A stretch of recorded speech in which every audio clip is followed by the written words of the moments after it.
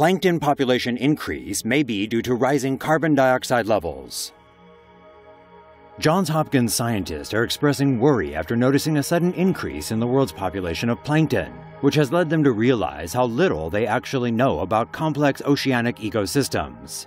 A new study suggests that rising carbon dioxide levels in the North Atlantic may have caused a large increase in the ocean's population of plankton. Looking at data from 1965 to 2014, researchers found that the amount of coccolithophore plankton increased tenfold over that time period. Made of a calcium casing, these plankton are a major food source for zooplankton and fish. They also absorb carbon dioxide and convert it to oxygen over thousands of years, storing it deep in the ocean. It is unknown what effects, positive or negative, this phenomenon may have on the ocean in the long term. However, one researcher explained the consequences of releasing tons of carbon dioxide over the years are already here, and this is just the tip of the iceberg. Like this video?